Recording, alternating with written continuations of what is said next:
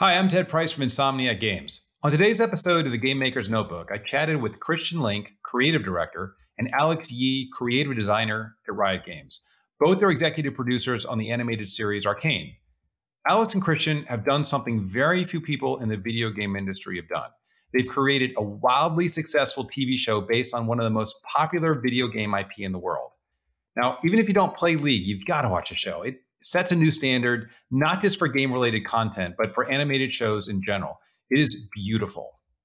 Now, in our talk, Alex and Christian share the ups and downs of both the initial pitch process and the production of the show.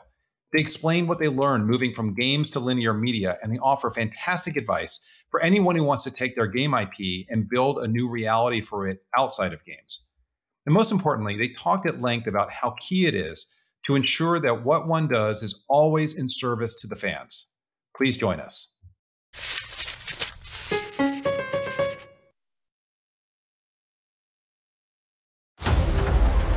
This city was founded to be a bastion of enlightenment. We are the city of progress, and our future is bright. We were once one tribe. Now, we are houses divided. As time passes, the topsiders are leaving us further and further behind. There's never enough to go round. It can either break you or forge you into something greater. Hi.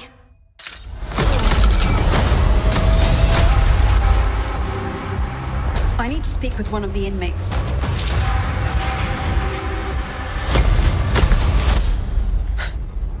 Who are you?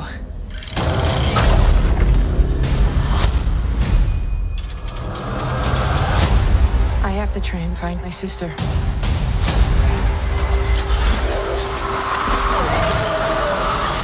Powder? Hi?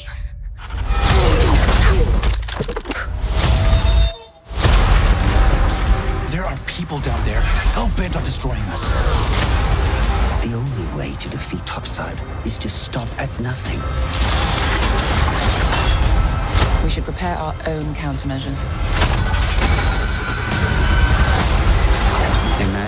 Imagining yourself a hero.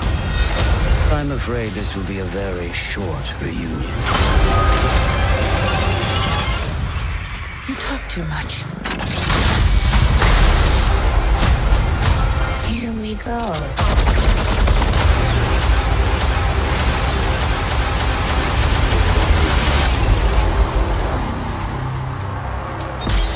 You people down here are all the same. Bit of advice don't threaten the guy who pours the drinks.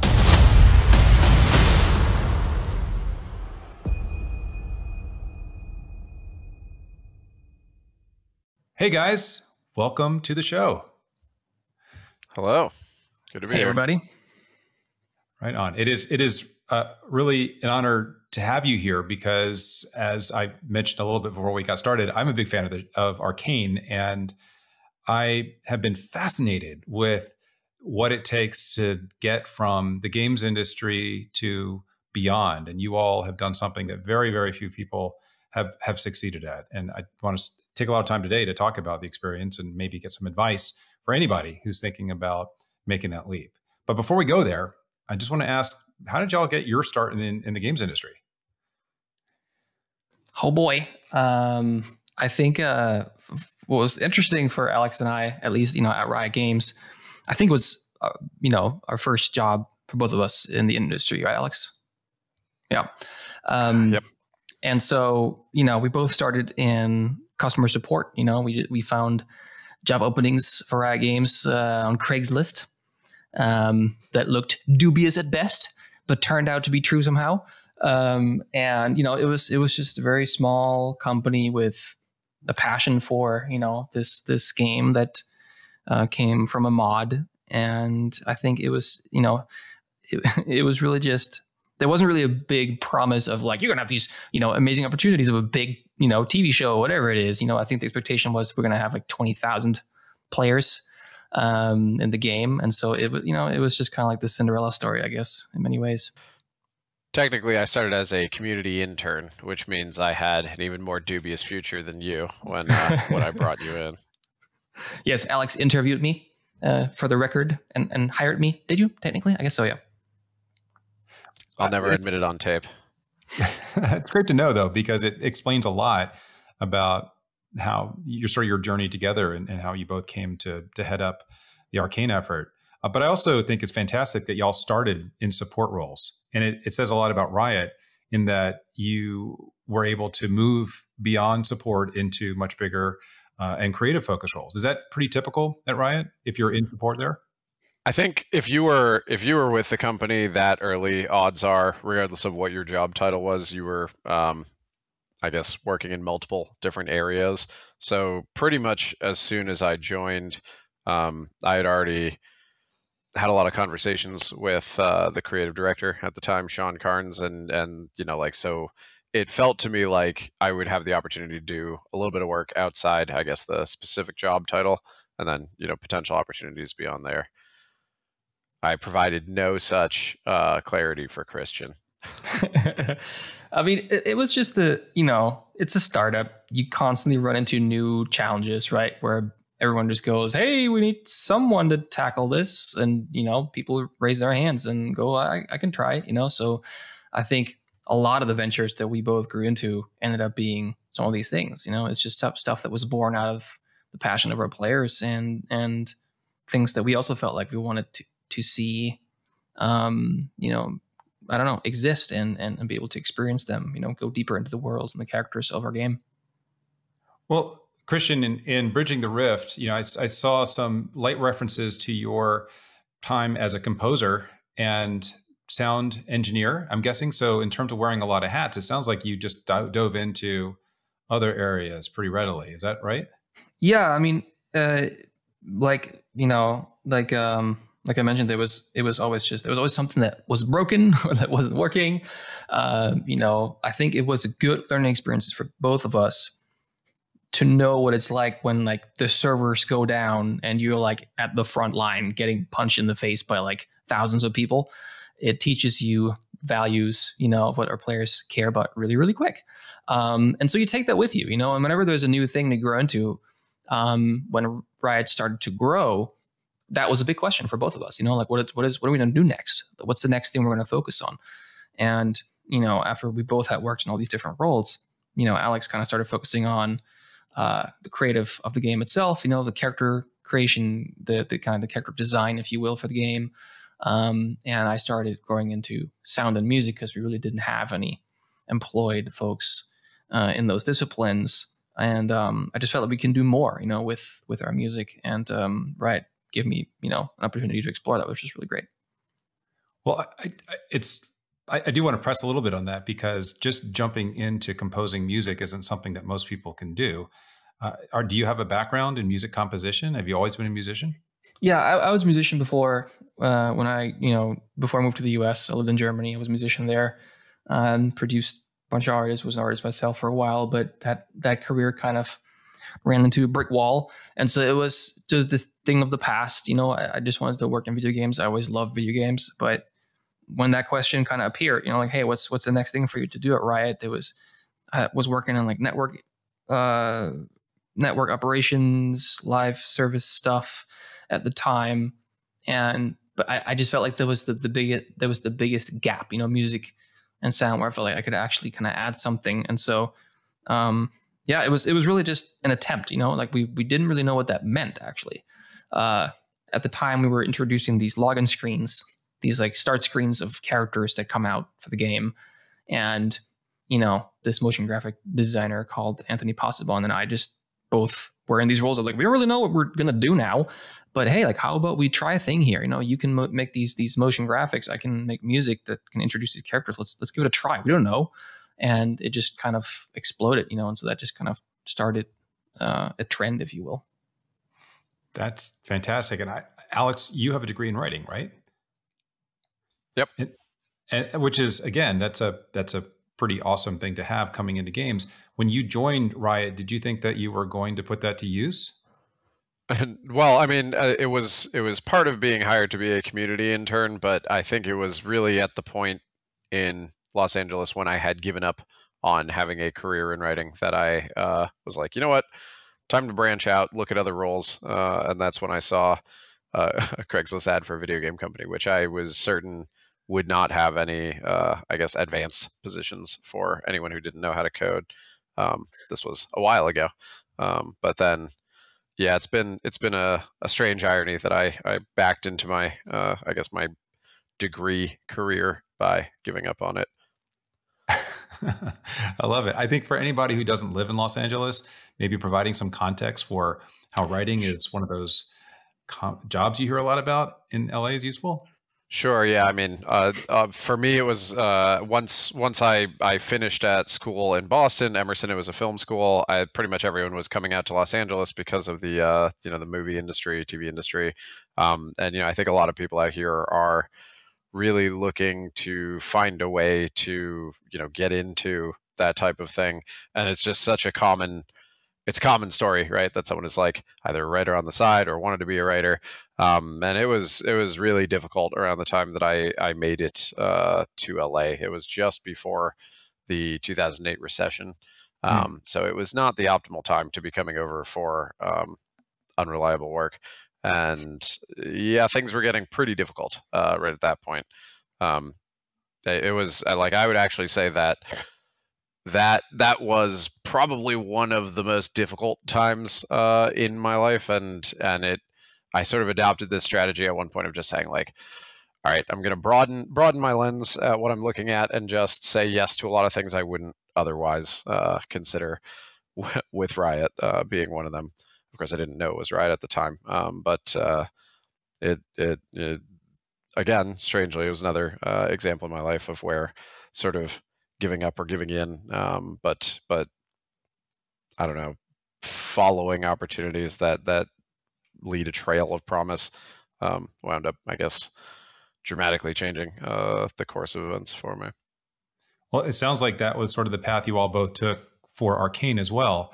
I mean, uh, and again, I, I, really enjoyed the Bridging the Rift documentary that you put out, uh, and it's it seemed that in the beginning this was for both of you sort of a labor of love and something that you had just cooked up on your own as just an idea?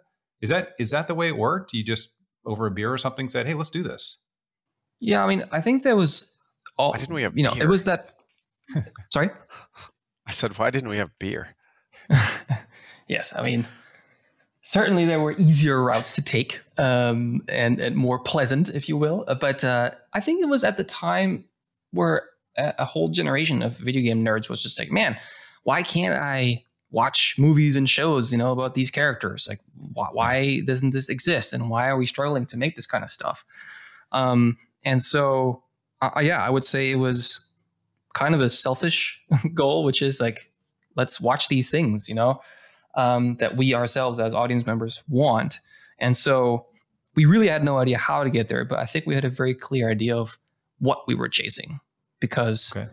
um, again, it, it, was a very authentic, you know, feeling that we had ourselves. We were just in love with the game and these characters. Yeah, we'd we'd had we'd had a little like a couple different uh, attempts to find ways to have higher fidelity. I don't know our realizations of the narrative of the story, and it just seemed like we were really struggling at making headway. And you know, Christian just had a history at the company of finding ways to turn projects into a reality and also just dreaming really big. Um, and I feel like like that that was the start of having that conversation and and in my head it was it was it was almost just just talking about a wild dream and I think it was it's that same week when Christian's like, okay, we're gonna do it and it's gonna be a full TV show. And I was like, okay, well, we we could start smaller. And he's like, no, no, no, nothing less than a TV show. I'm like, all right, I guess we have to learn how to make a TV show now.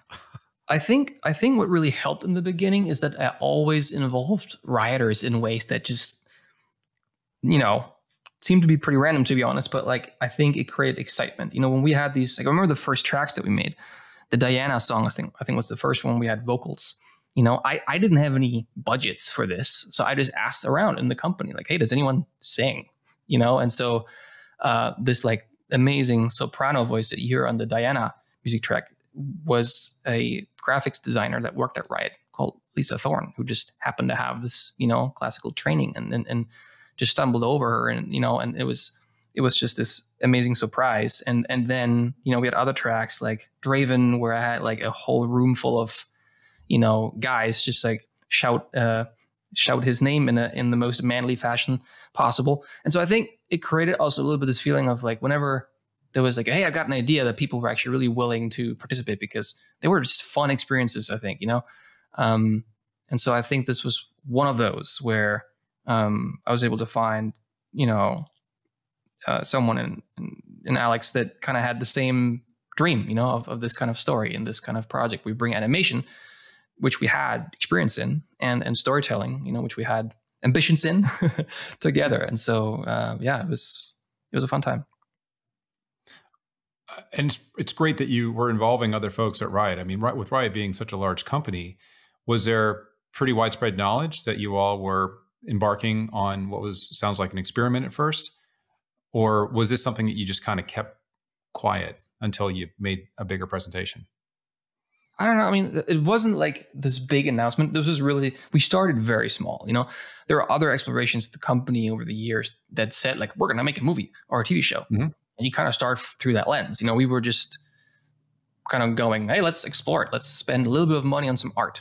And if that doesn't suck, hey, you know, let's see if we can create like a 3D model based on that art. If that doesn't suck, let's do a little animation test. So I think it was, it wasn't just developing a direction of a project. We also kind of had to develop the muscle and the ability to gauge what we were doing and to kind of also in the process teach everybody else around us like hey how can you judge this? Because none of us have worked on this you know? So if you work even up to you know the ceo and president they're like we don't necessarily we don't we don't know how to look at this. So i think we also had to think about it that way like hey how can we present this to you and how can we kind of take you on you know this ride with us in a fashion where it follows a more video game inspired you know format and and really just approaching things so we can kind of yeah learn on the fly. So i think that was a that was an important thing we had to do. Yeah i think it, it also in retrospect it seems like we uh, had a strong confidence we were going to successfully make a tv show maybe but i wouldn't be able to pick the point where things flipped from us being like I mean, let's just keep going until someone stops us to us believing that, uh, wow, that's a real show, um, and it people might like it. Uh, so you know, I think in the early days, just so much of the work was really build, building up our own confidence and our own knowledge uh, to be able to actually yeah. execute on the plan. Yeah. Well, what what it sounds like you, you all were doing was creating this vision on top of everything else that you were doing while working on League and working at Riot. How did y'all manage to do that? Because I, I asked this because I know that whenever whenever I talk to any developer about new IP processes, it's usually that's something that you're building on top of everything else you're already doing, and it can be difficult to achieve a balance. How did y'all manage to do that? Well, I think I think it was a specific time for both Alex and I in our careers. You know, I had hired a bunch of composers who more or less replaced me in the daily composing mm. responsibilities and were simply just much better than I was. Um, so I just didn't really have that responsibility anymore. And the question really for me was, what you know, what is next? I think for Alex, you know, his um, wife had just gotten this amazing job opportunity uh, in a different state, and he was, you know, gonna follow her and and and you know potentially even leave the company. And I kind of reeled him back in. Um, because I think it was just a project that we both were really passionate about. And so it, um, you know, it, I remember actually talking to our CEO back then. You know, I was actually kind of upset. I was like, "Why is no one telling me what I was supposed to do next?" You know, and he looked at me and blinked and just went, "Christian, I don't know if no one told you this yet, but at a certain level, you're the only one that can really figure that out. You know, uh, that's when you like you hit that level. Like you're you're a leader now. You know, like what do you think should be next? And I think that was a bit of a whoa experience. Um, and I think, but I think it also really helped, you know, and really being feeling empowered to say, okay, let, let us really explore what that the best version of this could be, you know, you know being arcane. Well, I mean, speaking, sorry, sorry, go ahead, Alex. Oh, I, I mean, I, w- I guess I was just going to add that there was there was a brief period in the beginning when we were, um, uh, I don't know, I guess, perf- like working on Arcane almost sort of secretly uh, once a week, you know, in the midst of the other activities that we had, um, and it was, you know, at that point, I think it was the broadest exploration for us, and it was kind of fun. It was like kind of a a once a week meeting where we we gathered up a couple other people and brought them into uh, Christian's dark little sound room, and we would just you know sort of talk about all the all the potential what ifs uh, of the story, and it, it you know it. I think I guess you could argue that the moment that we really committed uh, hard to Arcane was when both of us, you know, decided that we had to drop the other responsibilities in order to like give it the time and attention that it needed. Um, mine came on a slightly different path than Christian's because, like he was saying, uh, there were there were I guess other obligations out of state. But yeah, I remember. I also remember Christian um, having that moment where he's like, you know what, I think I have to let the music team go uh, in order to be able to focus on this, and then and then sort of the, the period of handoff. You you were asking about um, building an IP on top of an existing framework. Um, is like, uh, can you refine that? I guess with respect to Arcane. Well, what I mean is building an IP while you are building a new IP and the idea for one while you're working on other things. I mean, that's um, most of us in the business, right? We're uh, if we are in a for releasing big big games every few years, something always has to be in development to ensure that we can keep going as a company. And so it can often, I, at least in my experience, it also create it, it can often create stressors for folks who have multiple responsibilities on different projects. Right? You, you're responsible for coming up with this great new idea, improving it out, and getting buy-in from the company. But at the same time, you've got other stuff that you're doing too. So it sounds like I guess what I was trying to say was it sounds like y'all were balancing, spinning a lot of plates, but you managed to make it work. Yeah, in some ways, I think that that was the appeal of uh, working on Arcane to me. It, it, I, I think I remember specifically having a conversation with Christian where I was like, I'm I'm just so curious what it would be like if I devoted all my attention to one thing. Um, because we, you know, with Riot, like with the with the way we were releasing content at Riot, it was, you know, champions, skins, and uh, various other uh, projects that would require uh, like VO or creative input. And you always had this feeling of just constant mode switching throughout the day, you know. Um, yeah. And and every individual group that you would work with would have its own complete history. So you'd sort of feel like you actually had, I don't know, five different personalities, and you're just sort of flopping between them depending on which project you were working on. Um, it it definitely changed, I think, my my day to day, like especially in terms of how much time I guess I would get lost in thought uh, specifically on on this project. And I, I, you know, when I think about it, when you frame it that way, I do think some of the best things that I uh, contributed to Arcane were in those types of moments. I always, I always say that the like my my places of inspiration are in the car driving, in the shower, and then usually at night when I'm trying to fall asleep, and then I have to do the the dance of deciding whether I'm going to wake up and write something down uh, in my in my phone or something, or try to go to sleep. Which at the times I go to sleep uh, usually means that I will be not sleeping a lot. That's that's that's really funny you mentioned that. I have the same problem, and I I tend to err on not writing it down, and then I wake up frustrated because I think I just left the best idea ever uh, to my subconscious, which just just destroyed it. So, uh, what do you recommend for for dreamers? Write it down immediately. Uh, I mean, I I think recently I've been writing things down, but I I feel like I've made the sacrifice that you're describing knowledgeably at times where I'm like, you know what, it's fine. I'll come up with more ideas later. This one, this one can just go to the wind. That's hilarious. That's great. Well, I, I, want to go back to something that Christian said. You you meant you were talking about meeting with uh, Brandon and and what and advice that he gave you uh, in your documentary. You shared the experience you both had when you went to Brandon and Marc uh, multiple times and were told nope, and and how challenging that was. What kept you going after being told no? Um, I would say it always came back to but it needs to exist. You know, uh, it, I think. I mean, I think for us it was very obvious next step. You know, you have this amazing animation in trailers and features. You know that are usually for kids. Um, you have uh, these these great fantasy worlds and stories. like, why wouldn't it be possible to bring these together? Um, and it really just felt like no one was able to really imagine it because it, yeah, it didn't really exist yet. Um, but I think I think it just felt like it just made sense. You know, uh, I don't really know how else to say it. It just didn't really. It didn't. It never really. I think occurred to us to say like, oh yeah, maybe never mind. You know, it was just like, yeah, of course this needs to happen. I think with Fortiche too, like I think I think probably the relationship with Fortiche also helped.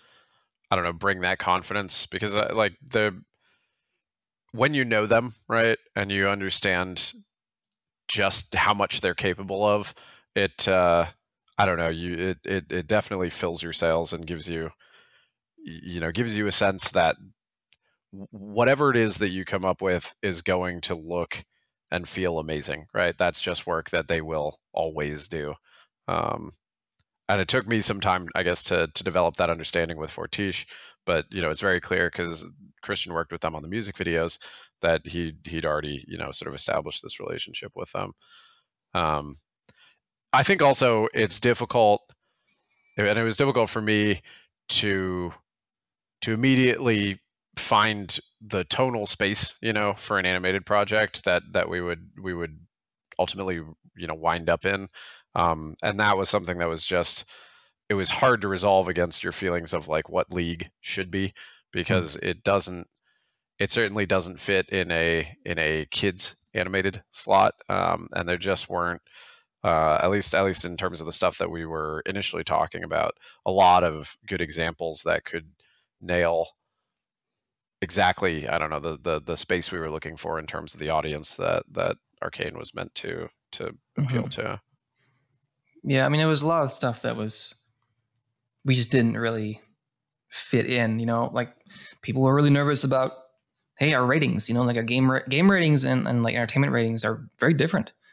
Um, they rate things very differently. So, um, it, it hitting our game rating and making the thing that we thought our audience wants was simply not the same thing, you know?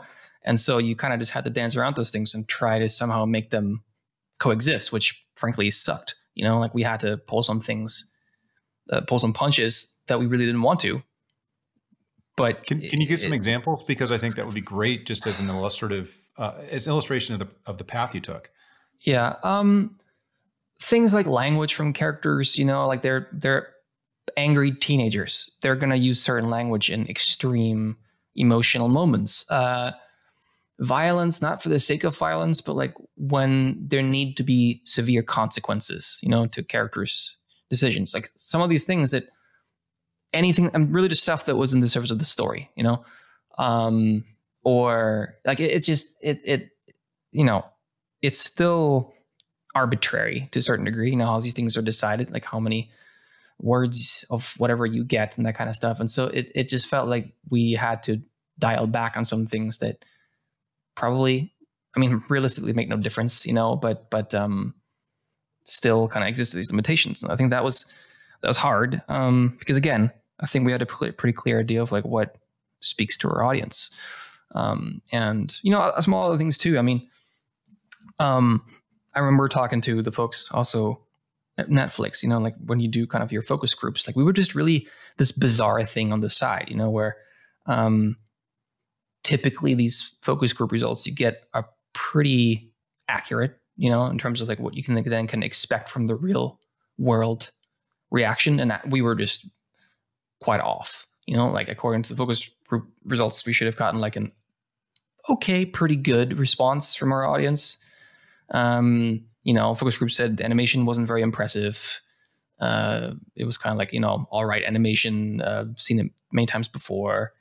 Um, blah blah blah. Um, uh, we're very confused by all the characters and storylines, and so when it went out, we really didn't hear any of that, you know. And so, and, and that's that was that was an odd one, I think, for everyone, because that doesn't typically happen that way, you know, in such a drastic fashion. The delta was pretty significant. So, so you know, I don't really know yet what to make of that, to be honest. But we, there was just like this was constantly the experience for us, you know, because it was yeah, there was really very there was no reference points really.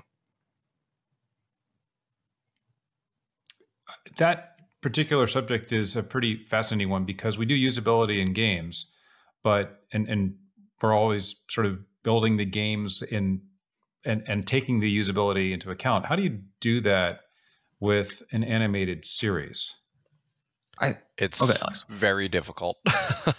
yeah. We I mean, I think I think th- this specifically this question that you're talking about is the thing that plagued us for the first couple years working on the project, which was, uh, how do you how do you find any way to to learn to create and then to evaluate your success in creating a show that you can't find any good examples of you know? Um, and uh, honestly i think it really really you you have to have a strong gut you know? You have to you have to trust yourself a lot. Um, i think one of the things that that always or that that served me uh, in particular in working on this show was that I just had a fairly long history of uh, creating creating artistic things, you know, that that we would show players and and being with them right as they would respond to it. So I I felt like I knew the audience, whether that's accurate or not. Um, but that that helped me I you know just sort of like make make calls where I didn't really feel like there was a there was clear guidance you know on those subjects.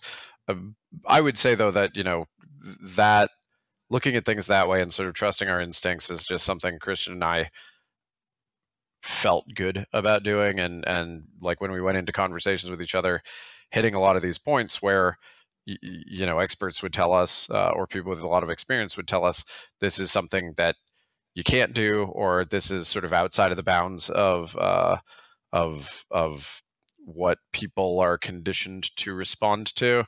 Um,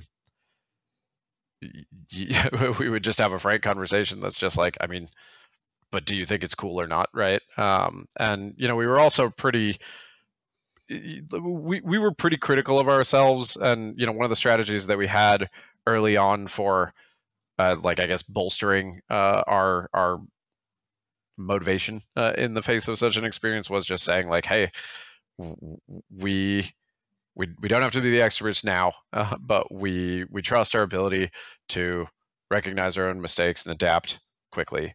Um, and that I think is something that came from being at Riot in the beginning and and being in a position mm. where again you were forced to or not forced to, but you like oftentimes you were running to cover some responsibility that was had nothing to do again with the job description. Um, so much of early Riot was figure out how to solve these problems that other game companies haven't faced before because Riot was also a company that sort of really challenged convention. Um, and also that spirit, I think, kind of infused our philosophy, I guess, in trying to build the show. Yeah, what I would add is I think Hollywood still underestimates the interactive aspect of games. You know, like if if any of us here on the call, you know, if if if we now set out to adapt a book, you know, we will all have the exact same source of information. You know, like we will all know exactly the same stuff. Doesn't matter if we read Lord of the Rings in the 40s, 50s, or or now, right? It's the same exact source and truth. But with a game like ours and games in general, there there's this whole thing to add on, which is the behavior and the the meta understanding of these characters and games, you know, that exists among the audience. We definitely felt like it was important to understand how our characters feel to our to our audience. You know, like as a Vi player, as an example, yeah, you do know that if there's a fight, you will go in first, you will die first. You know, like you're you're just kind of that's your your role. You know, when you're when you're Jinx, you know if if someone gets close to you, you tend to be toast. If you can keep the distance, you know, um, get a Kaelin or two, that you kind of get amped up and get faster. Like all these things, you know, there were characters that we designed for the game. Alex can you know tell you much more about that. We're like we designed them to be very different, and they actually adapted and, and took on these different personalities among our audience. That you would be simply wrong to pursue the original direction of a character because they they just change. You know, I mean, there's a character like Blitzcrank that we like wanted to be this like murderous golem machine. You know, his VO lines are like exterminate, exterminate, but because the voice and the like the waddle of the animation ended up looking so derpy, people were like, "He's kind of cute." You know, like he's he's kind of a jolly little golem that doesn't that, that doesn't really understand what he says. But so that, that was just not part of the design, you know. And so, how do you you can't really like you need to be part of the audience. You need to understand these things. Otherwise, you're just going to make things that don't feel authentic. That's excellent advice for anybody trying to make this jump. Uh, and I, I, I want to ask, after the show had been out for a while, did you see players explicitly recognizing the how you had transferred the personalities from gameplay to the show? Because I mean, those those Vi, the Vi and Jinx examples are great. Like in terms of taking gameplay and and and showing that their proclivities in their dialogue and their actions in, in the show. Were people just highlighting that in the feedback they gave you? Yeah, I would say I would say. I mean, honestly, I'm still a little bit floored by the uh, amount of faith uh, that that people had in us, um, or amount of uh, like I guess the the positive review that they've given us. Um, I I think I think the characters that you see in the game are like the most embellished version of themselves, right? And so yeah. you you have the sense of who these people are in their most extreme moments and in the most dire situations, and of course in combat. Uh, and so, really, the work for us was, you know, honoring those highs, but then finding the lows. Um, and and that was especially challenging for some of the characters because those are the decisions that specifically feel like they are the inverse of what you know the character to do. So Jinx in mm-hmm. particular, um, the her her her mania, right? Her her wildness, you know, was so much the signature of her in the game, and you know, certainly something that you feel like is the aspect of Jinx that players uh, uh, appeal to. Um, but finding that quiet human side, right? The thoughtful side, the emotional side. In in so many ways, you're always asking yourself, if I was going to look at this and be like, Jinx wouldn't do that. Jinx would just say something wild and blow something up. Um, but uh, you know, I I I think it, it it really isn't just sort of like playing with that balance and and finding a way to make it feel like the transitions between those two states are authentic and believable and that that there is there is love in why you're doing it and how it blends the story. Um i don't know. The but the yeah i mean most of the things that people call out are sort of specifically that right? Like that that they still feel like themselves but it feels like we added layers that support uh, what they knew as opposed to introduced contradictions uh, for the sake of variation. It definitely comes through. I mean, they, I'll say just frankly, as a fan, that's what hooked me were those human touches versus what, what could have been a cardboard sort of facsimile of, of a game character, right? Where they're just go, go, go all the time. So that was, that was really well done. I didn't, I didn't realize that that was, that was sort of a big part of what y'all did, but it, now that you're talking about it, it makes total sense. And it sounds like one of those challenges that people can easily overlook.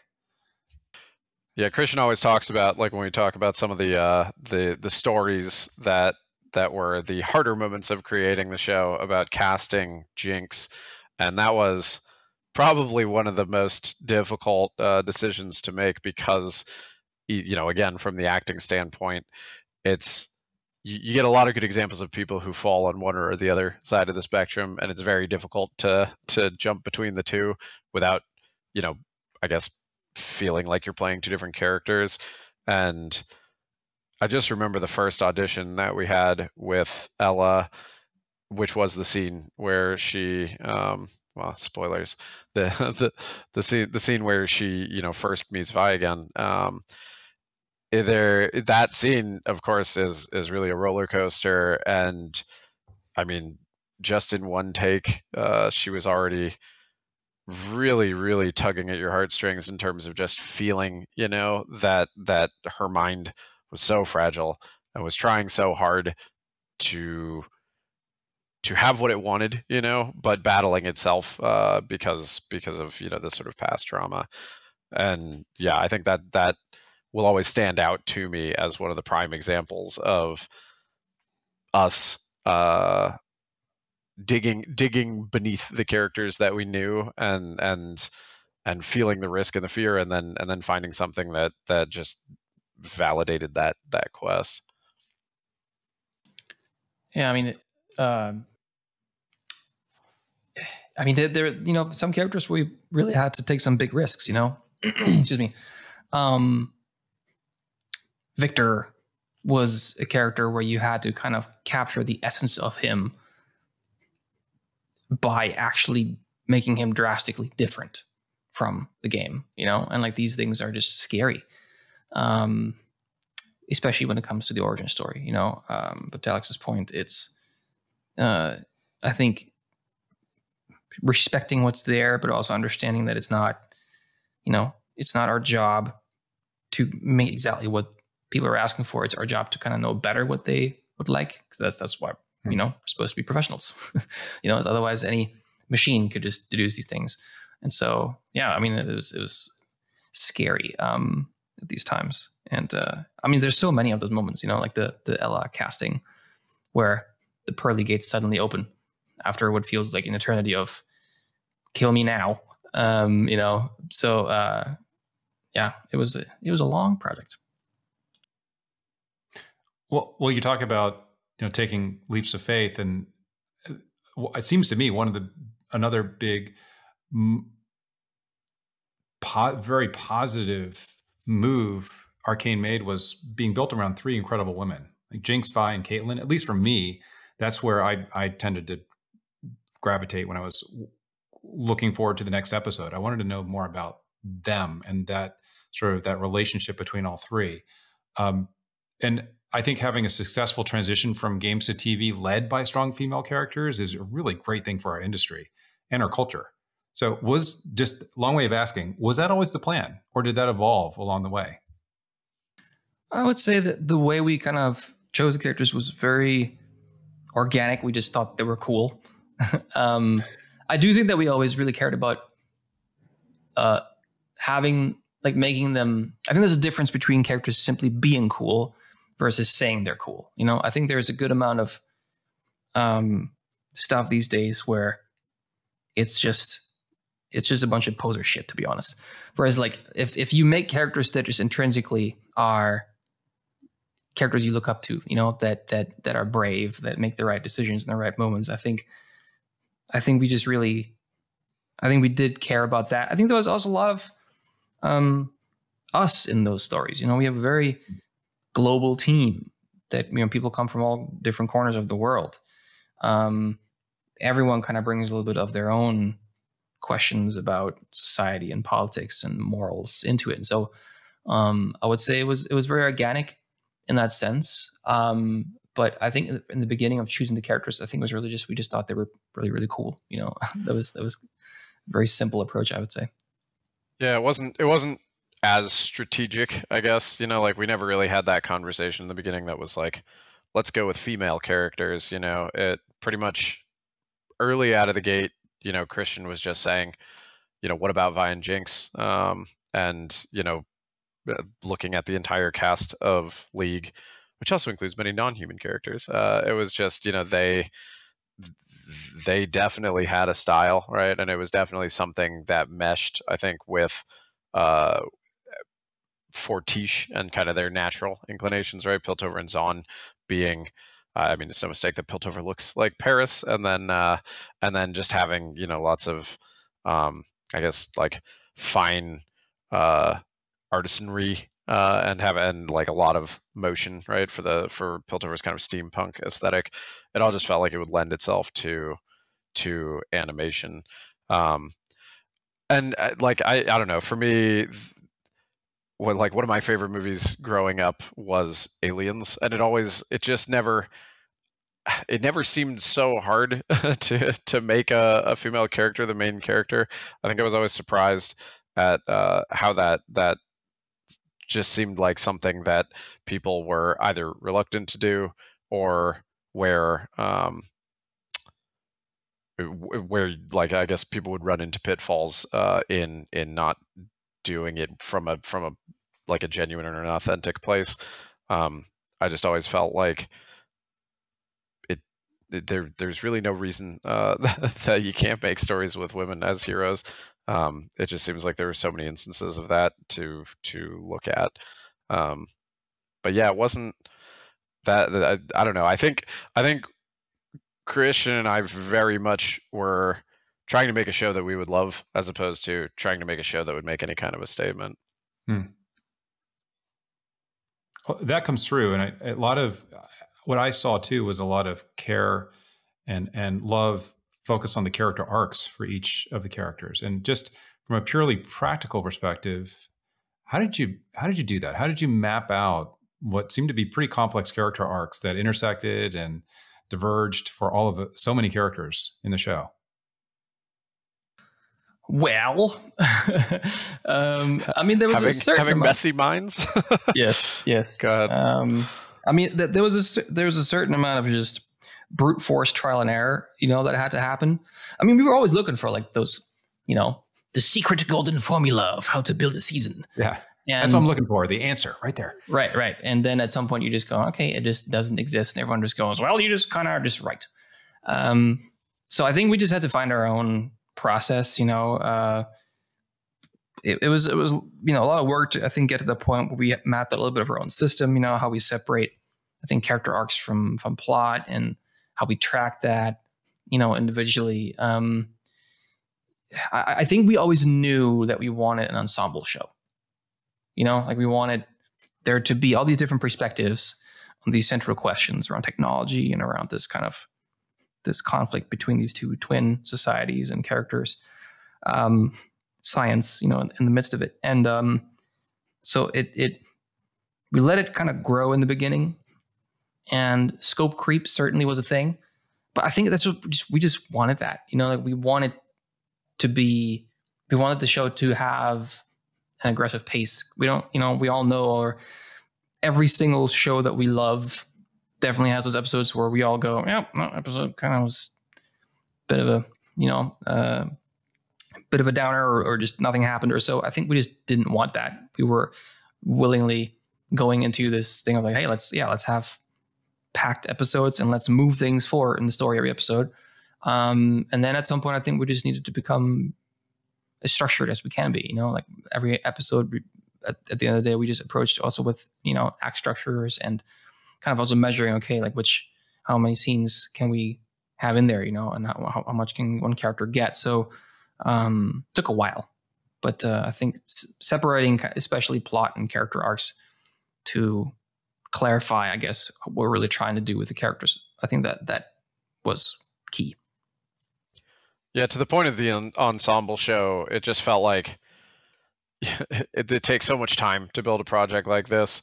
You know, we we wanted to have as many champions as possible, right? Uh, for for players to to get to see their favorite champion on screen, um, without feeling like we were uh, sacrificing the the feasibility or the interpretability of the story. Um, so we may have overshot uh, and then and then sort of scaled back uh, as much as we could. Um, but yeah, I mean, I, I don't. I th- I would definitely say that one of the hardest things in my mind about building a show that vast in terms of characters is finding finding some way to play traffic cop uh, with all of their stories. Uh, I, I, I remember at one point I made like a a subway map of characters with these sort of crisscrossing lines of like this is where all the characters uh, meet in these different scenes just to try and uh, create more clarity in my own head about it. But uh, uh I, I don't know that there was any uh, method of note taking or documenting that ever made it easier to think about. It always just feels like this uh, you know like that ball of wires behind the computer uh, when you're looking yeah, at an episode I'm, the first time. I'm pretty sure we explored every format and way to write a Bible and season tracking document I would be surprised if we has we if we had less than twenty or thirty um, And- throughout and the development. Did we ever succeed? Is the question. in the end, I think we just went nah and rolled dice. Um, but uh, yeah, I mean, uh, we we stalled on writing the documents until we'd finished the series. yes. Uh, no, I mean, I, I think I would say that we really kind of started to understand the structure as we, you know, approached the end of season one and and um, could really track. I think also our individual characters, you know, where where they came from, where they headed, and so I think it was it was really good, um, especially seeing the response, you know, because you have so many theories up until that point will people grasp this? Will people, you know, notice this and that? And um, we, you know, we I think both Alex and I like the kind of shows when things are arguable.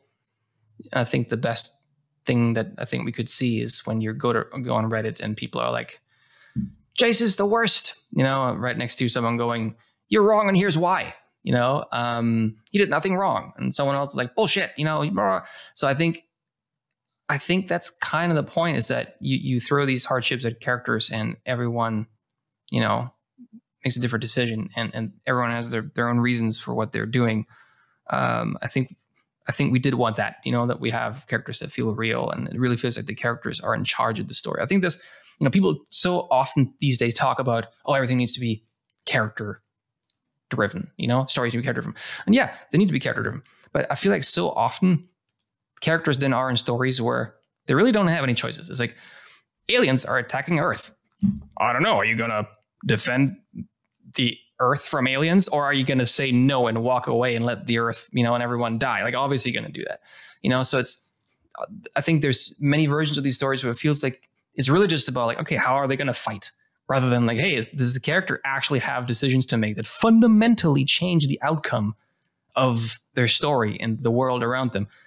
And I, I do think that we as creatives definitely gravitate toward those stories and movies you know, when it really is like characters can choose either way and you really want to know what happens rather than just the obvious here's a superhero who will do what any, you know, good hearted person would do.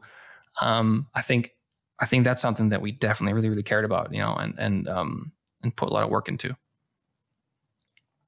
I hope Alex agrees. came through. Really did. I mean, I remember watching several of the episodes and not knowing which way the characters were going to turn. And and that was as as a viewer, it was fantastic because yeah, to your point, it, it's it's kind of boring watching shows where it's obvious that the character is going to choose the the right path or the left path. So that that came through for me. I'm sure for for your millions of fans as well. Uh, but something you said earlier, Christian, just from a production perspective, piqued my interest, and that's pacing. I took for I take took for granted as a viewer that the pacing was consistently uh, what I wanted as a viewer. It definitely kept me engaged, and so I know in games, at least the games that we make, we tend to focus pretty heavily on metrics to ensure that players always have something to do, always have something interesting to see. What's your approach to pacing in a show? Do you take the same approach? Or do you, or as you said, do you roll the dice and just see what comes out? I would say we definitely measured. You know, we looked at episodes. You know, we, I think usually we knew we would have about twelve to fourteen kind of story beats that would fit into the length of our episode. You know, plus minus a few. I would say. You know, it was always kind of a, a battle um, with the French people who would be crying when we come around with some episode that is way too long or way too complex, which we did all the time. Um, but I, I think there definitely was, you know, we, we, we especially over time, got to grasp like, okay, how many story beats can we have per episode? Um, how do we also make sure that we really figure out who the driving characters are? You know, I think something that we did kind of halfway through our season writing experiences that we started to hone in on, okay, who really, really, who really, really owns an episode? You know, and that that that character usually has a flashback in the beginning of the episode, you know, so you really have like one character was really driving forward one episode at a time. Um, so I think that I don't know, also that's something that I, I can't remember how exactly we came up with that, but it, it definitely helped with structure and committing. You know, really saying, okay, this is going to be the episode of Character X. Yeah, that was that was from the uh, the writers' room. Uh, I I would love to say that we uh, proactively mapped out our pacing, uh, but it definitely also felt like some of it was a happy accident of writing scripts that were five pages too long, and then having to go through the uh, absolutely brutal process in the editing room of shaving them down uh, to to something that could hit our minute count, um, and and just trying to keep as many as many of our darlings as we could. Uh, I, I was I was actually a little nervous in the beginning that it was just a little too much right to follow um, and it's you know for me it's kind of a an interesting takeaway that you know it does feel like we have overall uh, a a faster capability I guess to keep up with content and and potentially that it is in fact a boon to to just really really keep keep the the valve open I guess on on your plot and and sort of like the rate of beats that you're giving to people. I've definitely had more and more of the experience that Christian is describing where I'm watching something and I'm like, I understand where you're going. I see I see what you're trying to lay out. Let's get to the next plot point. Uh, and I you know I think I think it may just be our our shortening attention spans, uh, or if you want to look at it from the plus side, our widening capability to uh, to to intake information. I, that's a well. That kind of leads me to a question about assumptions. And what assumptions did you have going into production that turned out to be completely wrong? That it would take two years to make the show. um, I mean, hmm. Um, good question. I mean, I would say definitely complexity and you know, it, it's a hard one to assess because in the beginning we were very isolated from the rest of the company. It was really just this wild bet that no one was like, we don't know where this is going. This is going to actually become a thing. And once we started to get more integrated into the ecosystem of Riot, the kind of the parameters also started changing. We wanted to create a bigger experience, and that meant we also want to do more things, you know, in our in our in our story, in our season. Um, but yeah, I think complexity in terms of I mean, just scale. You know, I, I don't think we had any like ideas that it was going to be easy. I would say more so in in in in a sense that you just don't know what's coming around the corner. You know, the challenges and uh, you built. You know, we weren't just building the story and and, and arcane. We were Fortiche's also building their entire studio. Um, so completely new teams that have to build the rig, that have to do the cloth simulation, that do the hair simulations, that do you know animation, that do everything. So guess what? When we started actually producing the first episode, it was the first time all these teams were working together. Some of them just didn't work out together. You know, that's that's it's just that's we're we're, we're all we're humans. You know, like sometimes th- things turn out to be harder because something isn't quite clicking or technicality or so.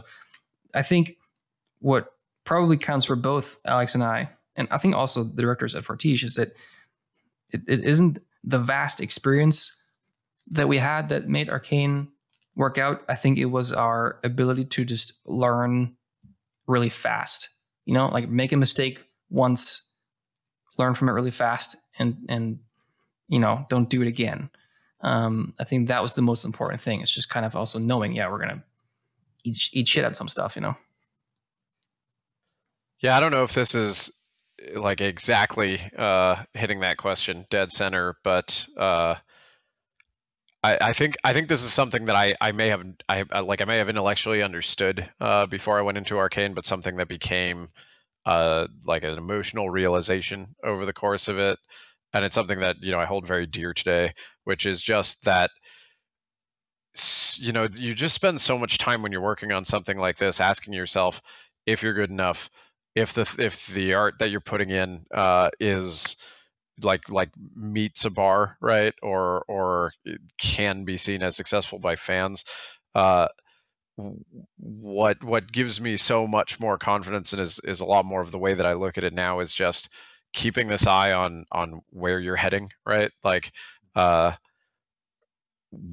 you know, to me, the amount of growth that all of us had between the first episode and the last episode of the first season, it's like it's it, I, like I, the, when I first saw the pilot, I thought it was amazing, you know, artistically, and now when I look at it, I'm like, I see all the things that they weren't doing then that they are doing uh, now and are doing at the end of the season, and so so when you sort of reframe that perspective, I guess to Christian's point of like learning learning from your mistakes, uh, you I, I mean you, you you just feel so much more empowered to to take risks and and make mistakes, um, but also to to to not necessarily feel like the you're going up against the best that you've ever seen, right?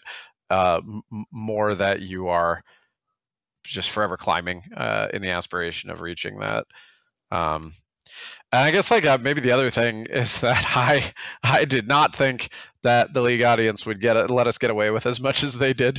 Um, I, I, have the feeling that uh, y- you know when when you're when you're building the story or you're building the world, there's there's so many minute details that if they feel like they are in any way uh, off of I guess your own understanding, right, of the the the the truth of the game or the spirit of the game, uh, that you, those are things that people are going to um, really hold you accountable for. But you know, it it just seems to me so so evident, you know, with Arcane that if you if you can show if you can show people how much you care about something that you're making for them and the thing that you're making at, is at least close enough, you know, to that thing that they love, then they will be willing to, uh, I don't know, let let their imaginations wander, have a, a, greater suspension of disbelief than than you might you might expect going in. Uh, it certainly wasn't the case uh, occasionally when we would put out champions that would feel disingenuous to the game.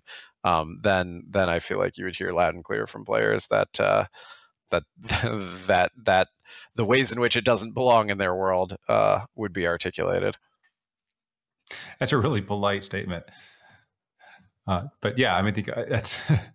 it sounds like yeah, the viewers seem to be. I think. Are you saying that the viewers were much more uh, accommodating and accepting of liberties, creative liberties that you took with the characters and the environment or, or setting? yeah, yep. I wish I said it that way. That was a great way of phrasing it. I had the benefit of listening, so first, but okay, well that that makes a lot of sense. Uh, but I, have a sort of a related, sort of very production related question, just because I'm fascinated about how you do what you do. Uh, as do do you write all of the episodes before you go into production, or were you writing episodes as other episodes were in production and dealing with feedback from those earlier episodes at the same time? Well, if you do your job well, you get the scripts done first.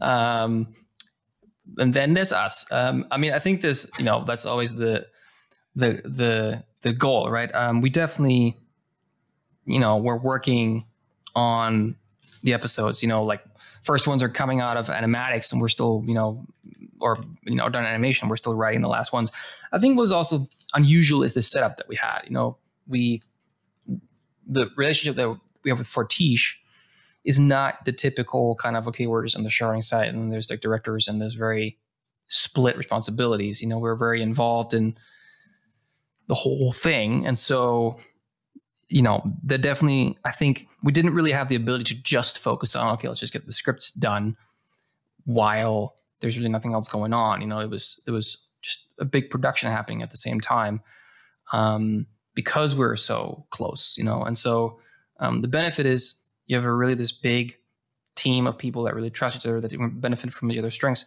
You know, but but at the cost of also saying you well you you don't really have 100 percent you know focus time just for one thing ever.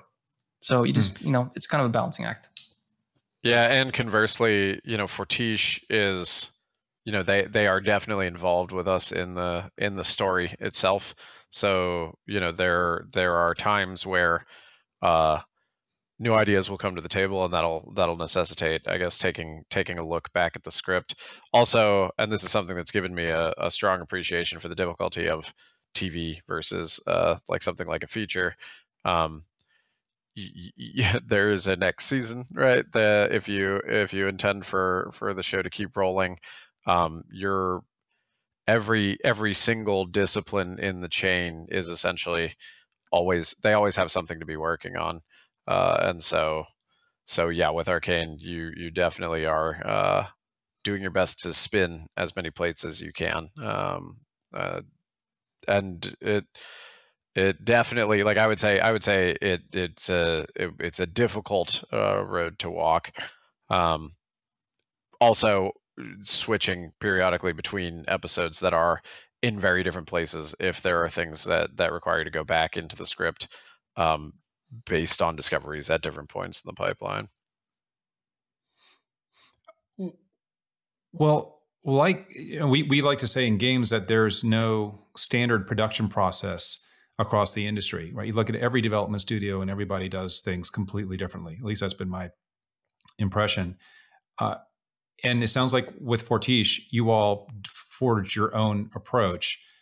W- would you say that in the TV series industry there is an approach, or is it are most production companies still trying to figure out the best process?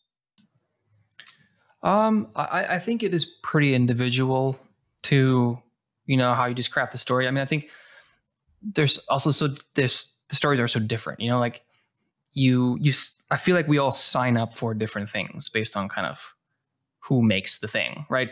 If I watch John Wick, I just kind of want him to see be a badass. You know, I don't go too deeply. I'm like, well, what is the essential question here and the philosophical angle? And like, doesn't matter what kind of gun is he is he shooting. Um, you know, I think I think you kind of also need to understand a little bit like what what is the quality of the story you're crafting? Where does it come from? You know, um, so I think it's it's a it's a very personal thing, very individual thing, and I think you know, in games, I think it's the same thing for for the CEOs and producers of the world. You're really more investing in people than in projects, right? Because at the end of the day, they're made by people. So, mm-hmm. you know, whenever I would, I kind of made it also my own uh, question to ask people really in, in these big studios, and I, I, always try to ask them like, how how do you fix a story when things are broken, and how do you, you know, uh, craft the season successfully? You know, talking to people who worked on some of the most you know successful TV shows uh, of the last few years, and and the answer tends to be the same. Like you just it comes down to that central person, right, or to the central people that you need to trust and invest in, um, because uh, what's the the famous Neil Gaiman statement that we I think we also very much believed in during the, the making of Arcane is that if someone tells you that something isn't working for them in this in their story and in your story, um, they're almost always right. When they want to tell you how to fix it, they're almost always wrong. I think that's very true, you know, and I think that's also what we kind of have to stay true to. You know, it's like when there's when there's issues, we need to find our answer to the problem, but we need to stay in the driver's seat because otherwise the whole thing just kind of falls apart, you know? Yeah, Arcane Arcane definitely presented some unique challenges in terms of, I guess, uh, using using pre-established processes for making TV shows. Like we we sort of converged, I guess, three different formats, right? Like we we wanted to make an animated TV show, we wanted to make something that was feature quality, and we wanted the uh, I guess the the sort of narrative style of, of a lot of, or at least at least reaching to live action, um, and all those have totally, well, not totally different processes, but they do have different processes. Um, the the pipeline for a feature or the amount of time you know that that that you can take to create it is quite a bit longer and and the you know the difference between between that and TV is you're theoretically continuously making content. Uh, there isn't there isn't like a an end line, and that's also one where um, I think you would more typically have a complete script for the complete feature, and that's when you start moving to the next phase of the pipeline. Um, really, even finding a way to try to have high quality animation in in a like like such a large amount right in a in a in a producible short window of time was a big part of of some of the early struggle of figuring out how to build this team. And then and then i guess resolving assumptions about uh, the the way you can iterate on story uh, or or solve story uh, between an animated TV show because of that pipeline versus a live TV show was another point where we had to, you know, we had to do like find some of our own answers um, because, like, you know, it's different things are more expensive in each of these different um, each, each of these different categories. So I, I, guess I can also give you some examples um, in uh, like one one of the decisions that we made early on was uh, you know we loved Pixar animation um, and we worked with uh, Ash Brannon, who came from Pixar, and he, he talked to us about how you know Pixar tended to iterate on story in the animatic, um, which would require uh, a lot of work on the storyboarding side, which j- just made that an enormous um, enormous bottleneck in the process, um, and especially because the the storyboarders have have such a like they're they're they're very rare. Uh, I guess the storyboarders that we have, you know, they they have to be able to to uh, have a good eye for you know the the the camera, the the the composition, um, already you know taking into account like a lot of the acting and the blocking. Um, so in order to alleviate that, we really moved a lot of our process into iterating in, in script, um, and then iterating script, you know, really. Uh, that is something that is done more in TV, uh, but TV has a a different way of looking at what is difficult to accomplish in story because of the fact that you know like uh, as long as you can set something in a location and sort of you know fill it with characters that's sort of i guess the cheap side of uh, of of doing things uh, from this the TV standpoint. So I don't know. It was like so we we brought people in from every industry, and a lot of the work in the beginning was sort of like resolving uh, the different philosophies together, and then finding finding something that would work for Fortiche. Also, just the nature of our relationship with Fortiche. You know, them not really not being a vendor, but being a partner in crafting the story, and us being you know halfway across the world. Uh, all of these things added added layers of complexity, especially over COVID. That's a great description. I, sorry, one really geeky comment that I've just been dying to ask you. Did did you all use mocap at all, or was that all hand animated? Or did Fortiche use it? So I could give you the answer to this, or I could say that tomorrow you will find out. Uh, we release the next episode of the BTS. Um, but uh, I mean, no, we, we didn't use any mocap. Um, uh, crazy. It's uh, yeah. I mean, I, crazy in a good way. I, I just am so impressed by that. But sorry, I cut you no, off. No, no. I mean, our animation, our animation team is nuts. Um, and you know, you'll you'll actually get to see um, this Thursday um, in the next episode, kind of what how the magic happened at Fortiche. It's it's my favorite episode probably out of the whole season. Well, the whole the whole kind of BTS series. Um, and yeah, it was all key animated. They worked with a lot of references um, and uh, yeah, I think just really had this ambition to explore drama, you know, animation as far as uh, we could. So yeah, really, really proud of the team. Yeah, they rocked it. And by the way, it's also made me a fan of KDA, uh, thanks to uh, Fortiche and you guys. So uh, my my daughters are very happy that I'm going even deeper into K-pop these days. So mm-hmm their their videos and your videos were amazing for those as well. Yeah, those are really really fun. And I mean, it, you know, give anything that requires like style to to the French, and they will probably knock it out of the park. so I got a, a, just a couple more questions for y'all.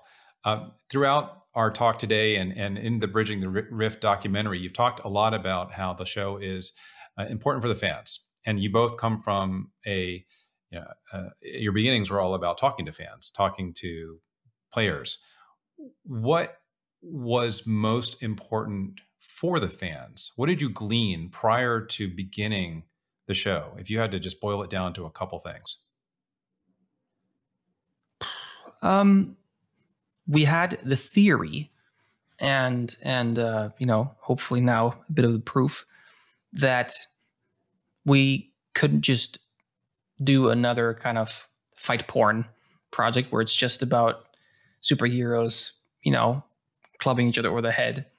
It really needed to be human and really needed to have um, these emotional qualities that you typically only find, you know, in live action stuff. Um, and you know, I think that was something that wasn't obvious because it also didn't really exist that much. It, you know, it was something I, I don't know if our audience would have necessarily imagined that we would do this or that this could work. Um, but I, I would say that was definitely a big thing in the beginning that you know a stake that we put in the ground um, that we just really didn't want this to be just another you know superhero thing if you will yeah. um and and but you know we we we had the theory but i think now we know that it was the right decision. Alex if you want to add to that. Yeah i mean I, I, I was probably going to hit on exactly the same point. Um i would say the the only other thing was to to trust the audience right? Like i think there are a lot of places where we took risks uh where the the risks involved saying I think they'll understand, or I think they'll see what we're what we're going for here, or I think they can handle this much, right? Um, in places where you know it really felt like we were we were going out on a limb uh, with those types of assumptions. Um, it, I think one of the most validating things for me is watching you know videos that are responses from fans in which it feels like uh, not only do they pick up on so many of these incredibly subtle subtextual things that you bury in the show, but they also find a lot of meaning in things that you may not have necessarily intentionally put in the show. Um, it just, you know, it, they're they're constant reminders of uh, uh, just what what what people are capable of of discovering, especially if they love something and they really they they pay attention. Um, I mean, there are also uh, little tiny Easter eggs. I feel like that were were put in uh, like across the board by different people working on the project that are also for me it's like in these videos when players show they're like look at this tiny tiny thing that's written over here in the corner. And i'm like wait i didn't know that was there. Uh, and then and then you you think of the artist and you're like oh i know what they're doing you know? Um, it's always so rewarding. That's great.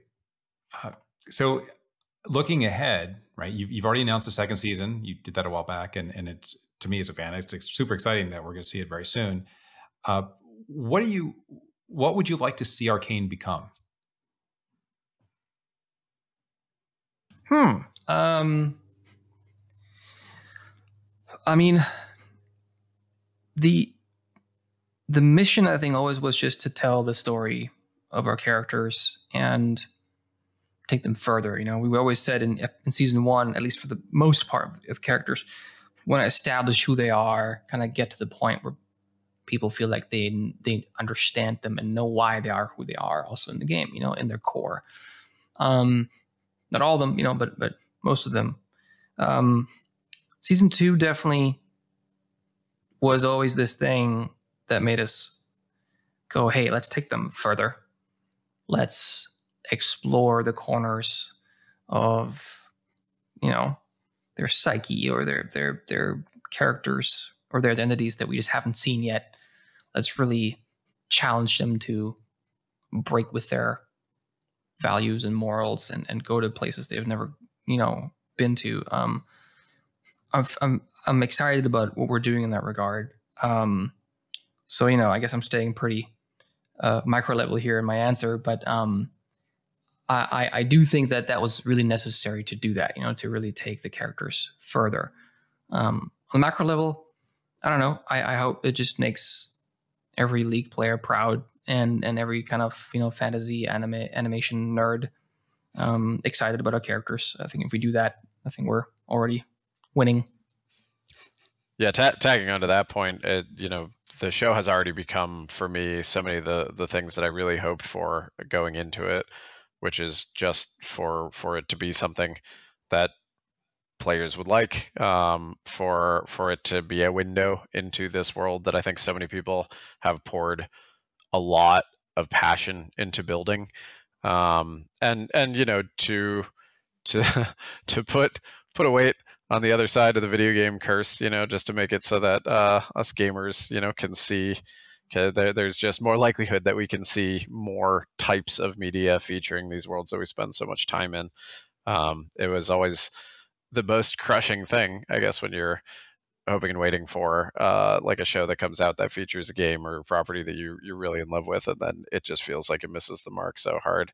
Um, so I'm I'm I'm looking forward a lot to uh, all of these other uh, shows that are coming out right now, um, in the hopes that they'll be able to make their case, you know, for why they deserve I don't know a little bit more uh, trust or artistic freedom or something like that, um, in order and and that that can work for fans who aren't necessarily uh, people who specifically played the game. That, that's great. I, and I have one last question. I said I had a couple more, but th- this is my last one, I promise. And it's it may be a hard one, it may be an easy one, but it is more about giving advice to folks who are looking at y'all and uh, so impressed, like like me, with what you've been able to pull off. So, as somebody who's been able to achieve the improbable, which is to bring a beloved game into a different medium and set a new quality bar.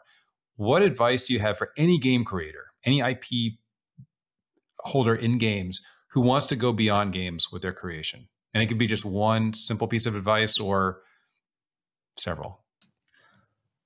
Um, I would say that in the past, there has often been this attempt to shoehorn video games into Hollywood or into mainstream or into what, you know, the normal world consumes or really wants. I think we have over the last few years gotten to the point where video games really are part of mainstream. You know, where all the biggest musicians and sports stars, um, you know, big, sorry, I think I blipped out here for a second. Uh, the biggest musicians, the biggest sports stars, everybody really embraces video games now.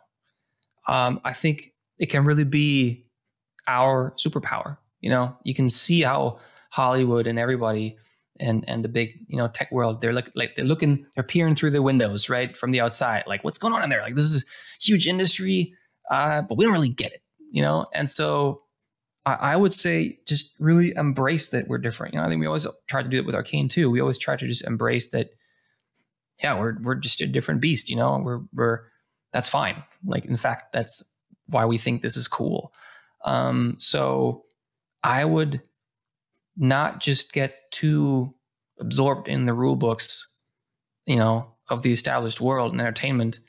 I would just really try to think about like what do you have to offer that's new to the world. And guess what? It's gonna be harder. People will not be able to see it, but it's really the only way. You know, I mean, Arcane was a big uphill fight, even when we had all the trust uh, in the world, you know, within the company. Um, so but I think that's just where you have these new moments, you know, that can happen when you when you pursue these these things that that are new. Uh, I think I think this may be advice that is only relevant if you are working on a fantasy or maybe sci-fi property or or something you know that that is based on a game you know that that is played by a younger audience.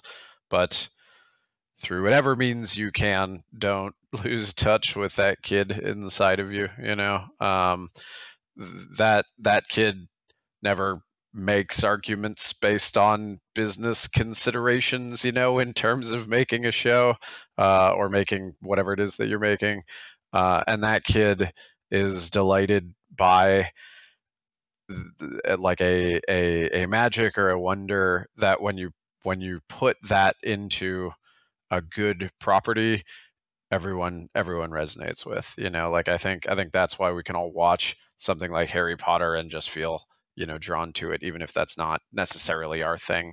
Um and you know like i it was always the feeling i think i had with a lot of the video game shows that didn't work that it just felt like uh the people who were making the show were reaching across some you know uh, impassable boundary to try and figure out who I was, you know, and so I, I think I think you gotta you gotta keep that part of you alive. Um, there there have been so many times with Christian where we're having conversations that are uh, just so deep in the weeds of how you make something, you know, uh, that I am always impressed when he brings it back to just like a very simple statement of, I don't know, all this just seems dumb or something like that in term from the perspective of being a player and looking at what it is that we're doing. And and when you reframe it that way it's like yeah it really does you know? And then it and then it allows you to to kind of change i guess your your strategy and also just you know keep stay focused on the thing that really matters which is are you creating the the the joy and in the experience that you want to bring for the people that you're you're building it for